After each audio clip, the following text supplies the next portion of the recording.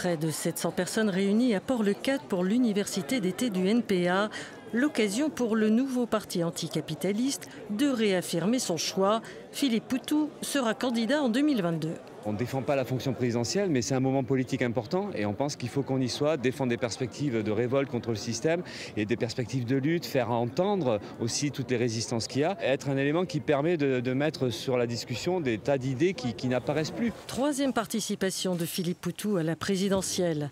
Aujourd'hui, conseiller municipal de l'opposition à Bordeaux, cet ancien ouvrier de chez Ford est au chômage depuis la fermeture de l'usine de Blanquefort fin 2019. Son programme pour la présidentielle, sortir du sécuritaire et lutter drastiquement contre la crise climatique et sociale. Il faut arrêter, il faut geler, interdire les licenciements aujourd'hui parce qu'il y, a trop de précarité, trop de chômage. C'est la défense des services publics.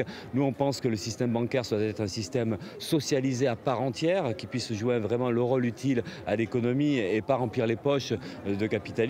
Durant quatre jours de cette université d'été, débats et thématiques s'enchaînent avec une attention toute particulière sur la lutte contre l'extrême droite et la crise sanitaire. Deux thèmes au cœur de la campagne présidentielle. Nos propositions, c'est ça. C'est euh, la levée des brevets, c'est euh, la réquisition des entreprises pharmaceutiques, c'est euh, des moyens massifs investis dans les services publics, c'est une vie décente pour tous et toutes avec un salaire minimum à 1800 euros.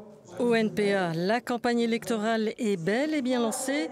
L'heure est maintenant à la course pour obtenir les 500 parrainages nécessaires pour se présenter au premier tour qui aura lieu le 10 avril prochain.